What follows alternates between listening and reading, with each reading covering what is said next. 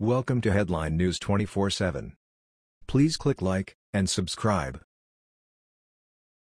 Border Patrol makes sudden announcement, delivers on Trump's promise to America. When Donald Trump was on the campaign trail, he made several bold promises to Americans. Such promises were precisely what U.S. citizens needed to hear, which is why Trump ended up winning the 2016 presidential election.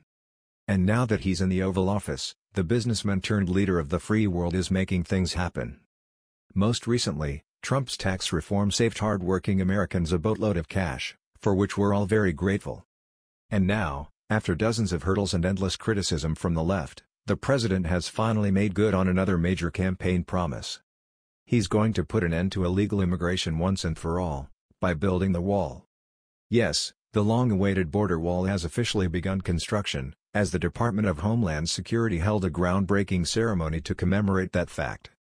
As El Paso Sector Chief Patrol Agent Aaron E. Hull told reporters during his speech.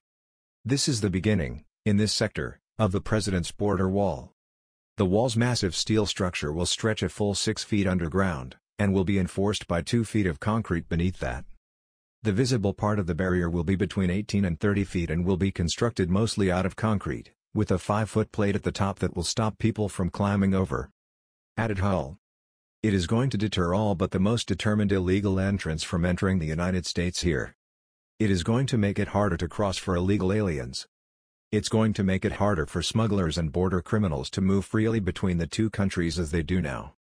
Appropriately, this first section of wall is being erected in one of the busiest areas for illegal alien apprehensions, and a prime quarter for the smuggling of narcotics. If things go smoothly, the project will be completed by next March and then Americans will feel much safer in their beds. Overall, Trump wants an additional 1,000 miles of new fencing and frankly, we need it ASAP. This isn't about keeping people out, this is about keeping citizens safe and stopping illegal individuals from stealing billions from our already strained system. Maybe one day, liberals will figure that out, though I wouldn't hold my breath if I were you. That was the news.